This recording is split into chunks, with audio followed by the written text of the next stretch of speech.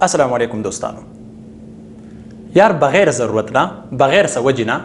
د خلکو سره ملاقاتونه کم کړئ ملاقات یعنی میلاوېدل مه کوئ بغیر ضرورت نه بغیر څه وجې نه د چا سره ځکه دا د هغه انسان بیزتی ده د هغه وخت ضایع کول دي کله چې ته د یو انسان سره بغیر ضرورت نه بغیر څه وجې نه میلاوېږې ګورو موږ په پښتو معاشره کې کله کله داسې وشي یو کس تپوس وکړو څنګه دې راپېښه وکړه ډېره موده بعد یره بس بازار کې مې سبزي واغسته ما مې راشه د سر بکینم یو دوه درې غنټې به غپو لګوم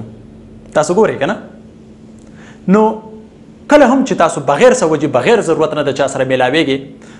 ملاويږي تاسو خپل ټایم خو الریډي ستا ضایع دی خو دا غټ ټایم هم ته خرابوي ضایع کوي بلکې دا دغه بیزتی ده یاد ساتئ چې کله تاته پته وي چې زه د چا سره میلاویږم دی ماله یوه ښه مشوره راکوي ښه ټیپس راکوي مستقبل کې ماله فایده راکوي د هغه انسان سره تاسو ملاقات کوئ چې د هغه نه تاسو څه زده کړه وکړئ زیات تر خلک تاسو نن سبا کتلی شئ چې کله هم هغه پوښتنه کوي د چانه نو هغه بار بار یو سوال کوي هغه ته دغه سوال باره کې پته وي خو بس اسې د دې یو عادت جوړ شوی وي چې دا خبرې سیوا کی بلکې چې دې کوم تانه سوال وکي او ته د هغې جواب ورکې که یو دوه درې سکنډه بعد د هغه نه دوباره تپوس وکړي چې تا زمانه کم سوال کړی و هغه ته به بیا په خپله باندې پته نه وي چې یار ما څه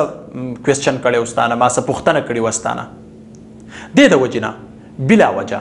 بغیر ضرورت د خلکو سره ملاقات مه کوئ یعنې دا به په پښتنو باندې دا خبره بده هم لګي ځکه تاسو په خپله باندې سوچ وکړئ کله هم د یو چا زړه نه لګي چې کله د چا ضرورت نه وي کله د چا یو مقصد نه وي او هغه لاړ شي او په ګینټو ګینټو باندې د چا سره ناس وي هغه به یو کاروبار کوي دغه به چا سره ډیل وي دغه به خپل سیکرټس خبرې وي یو کمپنی به وي دغه